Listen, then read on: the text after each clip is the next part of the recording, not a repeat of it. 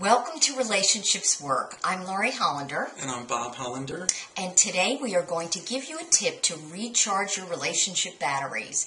And our tip this week is that you can use defensiveness as a path to create deeper intimacy. That sounds ridiculous. I know, and that's Yeah. because I wrote it. Are you criticizing me? I am not criticizing you. It sounds ridiculous to them. I read it, uh, and it and it really makes a lot of sense. But it really sounds ridiculous. Well, I am going to contain my defensiveness because that's what we're going to talk with you about.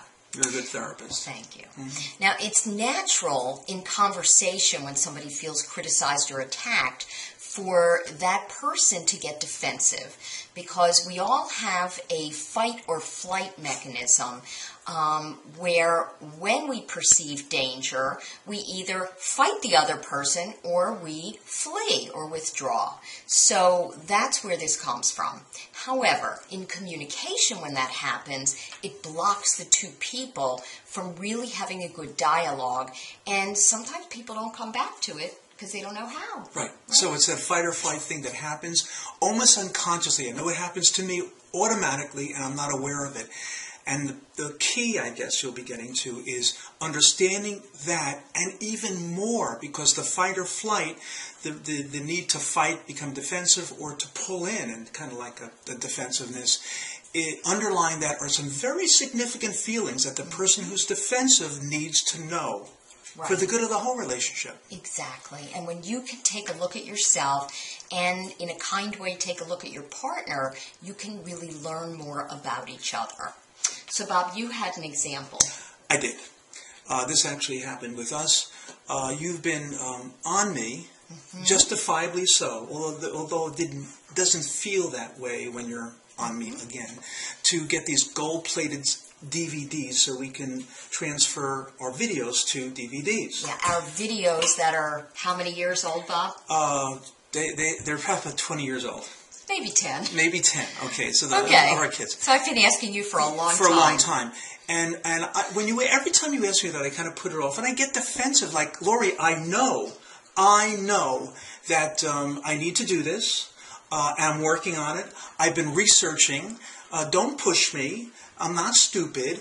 Uh, I will get them when I d- I'm finished with my due diligence. We'll do them. So lay off already. All right. So you can see how this could escalate into a fight.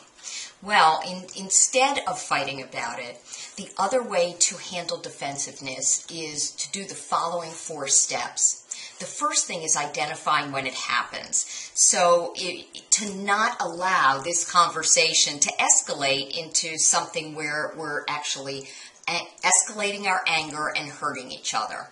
And the second step is to reflect upon what the defensiveness means to you.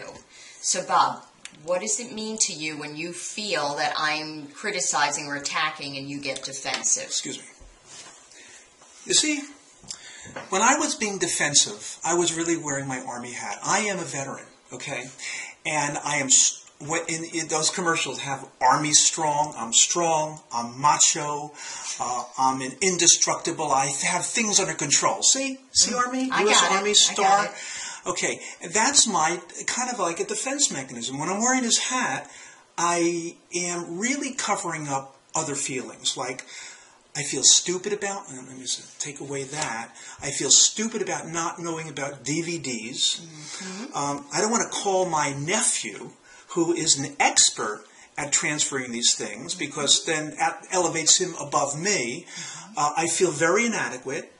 Uh, I don't. I feel powerless because I don't think I can really do it. I'm afraid to do it. That's all All right. covered up by my defensiveness. Exactly. Now, the third step is seek to understand why you feel this way. So, where does this belief come from that you are inadequate, that you feel stupid? And Uh, only from my total past. As a kid, I have had these things come up all the time, and I think a lot of and men are supposed to be like strong and take charge, but sometimes we can't be taking charge about everything. Uh, and I think if we could admit that to ourselves and then admit it to our partner, it makes for a much more genuine conversation. Right. And when you share this, Bob, with me, um, it really helps me understand more about who you are Yeah. and about how you work. Right. And I then can really um, talk to you about this in a, in a way that is less critical and, uh, you know, be more sensitive Right. to your And feelings. it's very important to me because out in the world, when I'm army, I can't be vulnerable. I have to be strong, okay? But I got married to kind of relax a little bit and have some person who I can be vulnerable with. And the amazing thing about it is that's exactly what she wants me to be, more mm-hmm. vulnerable. Yeah. So when we have these kind of conversations, it really does deepen our intimacy and we get to know each other on a deeper level. And then it decreases our arguing. So, Bob, Yes. when are you going to get those DVDs? I'm putting him on the spot now. Lori, you know, you ask me these things, and I want to tell you what it brings up for me. No, no, no. When are you going to do them? I'm going to do tomorrow. Sweetheart. I'm going to do that. I'm going to call Steve. You're listening. You're getting a call That's from our me nephew. right away uh, because I know uh, I'm not at fault for feeling afraid about something that Mm-hmm. I feel so inadequate about doing. Uh, I, you already know that, Mm-hmm. so that's swept away. There's no reason for my defensiveness. Now I can finally get on it.